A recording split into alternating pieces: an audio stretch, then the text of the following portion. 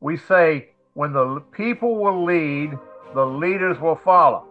So get after the elders and pastors in your church, lay people, and tell them, Pastor, we want to start a Christian school in our church. And this will go a long way to meeting the needs.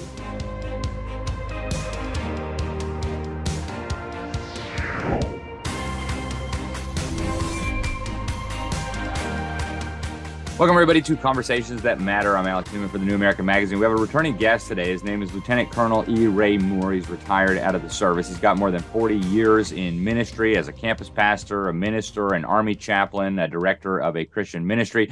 Uh, he is, among other things, president of Frontline Ministries, um, they focus on prayer, revival, and Christian education. It's been around for uh, 25 years, more than 25 years. It's also the founder and the director of the Exodus Mandate Project, an effort to get as many Christian children out of the government schools as possible. Uh, he's chairman of the Education Education Initiative. It's an alliance of uh, dozens of ministries, a lot of them focused on education. And he's the chairman of Public School Exit, launched in 2020. He's the author of Let My Children Go, uh, co authored with his wife by The Promise of Jonadab, Building a Christian Family Legacy in a Time of Cultural Decline. It's, an, it's a wonderful, wonderful book. Uh, he's also the executive director of the 2011 award winning film Indoctrination by Colin Gunn. He is the scriptwriter and executive producer of Escaping Common Core, Setting Our Children Free. Uh, and he's done many, many other things as well. Ray, uh, welcome to the program. Uh, I wanted to bring you back today. Uh, we, we've published your work in the New American. Uh, you, you've been sounding the alarm about what's happening in government schools since before a lot of us were born.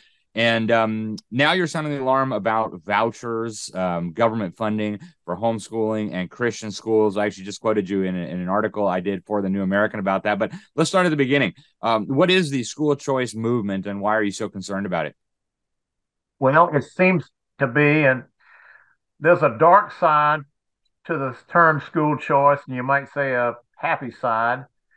But the dark side is so threatening to us now that I've really dropped the word school choice out of my vocabulary, and I'm using instead of that education freedom, uh, because school choice, the mechanism most often promoted to bring it about is the tax funded voucher. And that would be financial aid coming from governments into our private Christian and home schools and we believe that would be deadly. Just picture for a moment when the handcuffs, when the when you reach for the money, the handcuffs go on. That's handcuffs there around my wrist, and so it's a threat to uh, our autonomy and our freedom. So we oppose the voucher for that reason primarily. And uh, unfortunately, it looks like a lot of Republicans and conservatives are kind of hopping on the bandwagon. Um, you know, wh- why do you think they don't see this danger, Ray? Or, or, or, what do you think is going on? I mean, do do some of the people see the danger, understand the danger, or what's going on here? Um, do. Uh, tragically, uh, I would say conservatives, uh, Christian right, uh, homeschoolers, we would normally be more policy politically allied with conservatives and many cases the Republicans and the Democrats on most policy issues, say the life issue, uh, th- those kinds of questions, family values. But in this case, uh, our friends are a threat to us because they're the ones, the Republicans are the main ones pushing the voucher. It's a very odd policy alignment. And uh, I'm against the voucher because it threatens the autonomy and the freedom of private Christian home education. Democrats are against the voucher because they think it threatens the monopoly of public education. And in fact, it really doesn't, but they uh, they think it does. So we are in a very awkward situation where we're having to break ranks with people we have normally been allied with in the past. So that's why it's difficult to explain to people many Republicans go for because they think we need more money in the private school system, so therefore let the government fund it. No, no, bad idea. What do you do, Ray, with the argument that uh, you know the public schools are so bad uh, we have to do anything and everything possible to get because I, I, hear this from a lot of people who are supporting this who are I you know I know them to be well intentioned they say look the public schools are so bad we have to do anything and everything possible to get the children out. Uh, and the reality is because of the cost uh, a lot of parents aren't going to pull their kids out until the government gives them money. Um, h- how do you respond to that?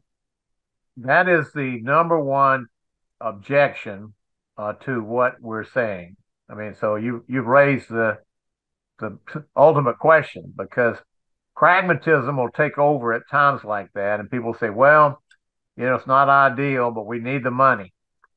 Uh, our answer basically is to try to engage the church and private associations uh, to do their do their job, do their duty, and there is a great improvement in that area in the last three to five years since the pandemic. And so I'm not willing to kill the goose that lays the golden egg just because not everybody at this moment can avail themselves of uh, private education through the voucher. Not willing to do that. And there is some evidence that when uh, school choice and the voucher becomes the default position, that not everybody takes advantage of it. They don't they don't necessarily come over to private education and homeschooling. But what it will do is it will bring uh, control and change in the private school system. So I think we have to stand our ground and give this time to work itself out. I do believe right now today uh, that probably two thirds of all families uh, maybe even three quarters, could afford some form of free market, private, and home education. Home education is ridiculously inexpensive. Now you have to pay for your curriculum, and if you join a program, you have to pay for that. So you you know nothing's free. Anything and you typically free, have to live on one income also, right? Which I think yeah. for a lot of modern families is a little bit yeah. more difficult. Huh? Yeah, that that it is difficult. So what we are having to do at the same time, we're trying to resist the voucher. We're having to challenge churches and pastors to step up and engage on Christian schools and homeschooling, and that is improving. You know, you and Dran Reese with the Public School Exit are speaking at Paul Blair's Liberty Pastors Conferences, and I think there are hundreds of pastors that have attended those events, and many of them are in the process of starting up Christian schools. It's not a perfect answer, but it's the best we can do at this time. Yep. Um, all right, folks, we're going to go to a quick break. And when we get back, we're going to talk more with Ray Moore about how to deal with this when it comes to your state capital. If you're in a Republican state, it may be there already and also uh, how to talk to your pastor and maybe the elders at your church about this uh, critical issue. Stay with us. We'll be right back.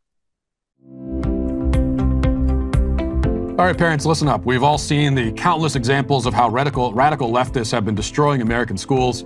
It's no longer just about the terrible math and reading levels. Now, radical left teachers birthed from liberal universities are forcing gender indoctrination in, ch- in kindergarten. They're teaching lessons on white guilt. Freedom Project Academy has perfected live on online learning over the course of a decade. I get a ton of great feedback about this program, a ton. They're built on Judeo Christian values, a classical curriculum. What does that mean? It means they're taught, your children are ta- taught the way that the founding generations of the country. My own son Noah did Freedom Project Academy for uh, several years uh, when he was younger. The more we tell our friends about these things, the more people will get on board. And I, and I believe that we can be the catalyst to some real change. We must save the West our way of life and our culture is under attack. And because of patriots like you and your project, I have optimism for the future. Ray, uh, as you know, um, many Republican states, if not most Republican states, are either considering this issue this year or debating this issue. Uh, some of them, like Arizona last year, took the plunge and, and passed uh, basically what they're describing as universal ESAs. Um, where every child, I guess, becomes eligible for this. Uh, the state of Florida was trying to do that, and they, and they may still end up passing something along those lines. Uh, what do you say to, to folks out there in Republican states? How should they be approaching their legislators about this? What do you say to Republican legislators who are on the fence? They're not quite sure what to do with this. Uh, what should be an appropriate strategy for Christians who do believe in getting kids out of the public school but are concerned about the uh, the voucher system? One one thing that we've done in our ministries that we've created a booklet, and I'll hold it up. And you've actually got a chapter in here, you as you know, vouchers, shekels with shackles, and these are ten brief articles, stand alone, and you have one, I have two, that explain the threat of the voucher to private free market Christian and home education. Very, we've got three we've got a lot of scholars that write for it. Uh, D- Diane Douglas, the former superintendent of public education in Arizona, is got a chapter. Um, three of our writers have PhDs. Uh, several are attorneys, and uh, and then you're a, a journalist, and I'm a, a, preacher. It's very very well done, and we're getting making a lot of headway with it. I'll give you one good story. I think there are a lot of people that are for the voucher today that are people of goodwill and if we present reasoned biblical uh, and constitutional arguments to them, they could repent and relent and, and reverse themselves. And I'm seeing that quite a bit, but you have to be able to present the arguments. And this is a, one of the best tools that we have. And if your audience wants to get a copy, a digital copy, they can contact my office at exodusmandate at gmail.com exodusmandate at gmail.com and ask for the digital uh, version of our booklets on the voucher. Let me give you one success story. I can't be too specific, but there was a writer who is with a good Christian publisher recently wrote a book. He was in public schools teaching in a large major city in the United States, and he was a Christian and he came to the conclusion that it was not possible for a Christian teacher to stay in that environment. And he was sort of a whistleblower book. And a, a friend of ours was asked to endorse it, and he read it. He said it was just wonderful book, something that we all could endorse, except in the final chapter, this man came out for school choice and for the voucher to be the mechanism for, for families to get out of the public school system. So our mutual friend Alex, and we won't call his name today, um, was asked to do an endorsement, and he said I wanted to endorse it, but I just could not because of this serious flaw. So he sent a copy of our booklet, Vouchers, Shekels with Shackles, to this writer, and he changed his position, reversed himself, and said, "Oh, I had made a mistake." And he withdrew the last chapter and had rewritten the last chapter so that our friend Alex could endorse the book. So that's one example of a person who was open to reason, a man of goodwill who changed his mind. So we think this booklet is having an effect to, to help that about. And then another one, which you know about, and you wrote about this, I think, in the New American issue coming up. We commissioned a paper by two eminent constitutional scholars called Government Funded Vouchers Endanger Biblically Faithful Christian Education. It's a legal analysis looking at the law, primarily the Blaine Amendments. A lot of people don't know what they are, but they're embedded in 37 state constitutions. And they say that you cannot give state money, government money, uh, to sectarian religious institutions. And that's also true in my state, the state of Virginia. I think there's one in Florida. And so it's unconstitutional. Uh, you cannot give direct money to religious institutions. Now, sadly, that was done in the 1870s for Catholics to keep them from getting uh, government money for their parochial schools. And it has a, a dark history there. But today, because it's a, a good policy. It protects private Christian schools, Protestant schools, and Catholic schools. So we're urging the uh, acceptance of the Blaine Amendment as a way of protecting and putting a firewall around Christian schools and homeschooling. Uh, in the last couple minutes we have left, Ray, uh, what is your message to Christians who are uh, in church? I mean, what should they be saying to their pastor? What should their pastor be saying? What should the elders of the church be doing, or the priest uh, for the case of Catholics, or the rabbi uh, for Jews? What What is the role of um, these community leaders, these faith leaders in um, in this whole issue with education? There are about a hundred thousand uh, conservative churches in America and about 94,000 public schools. So we have one for one. We have the facilities, uh, we have budgets. We don't need to build a building. We can start schools overnight. Now, it would take three, six months or a year to start a school. So the opportunity is there. There's just a lack of will. We've written a pamphlet called Pastors Taking Cover Moral Courage for the Pulpit.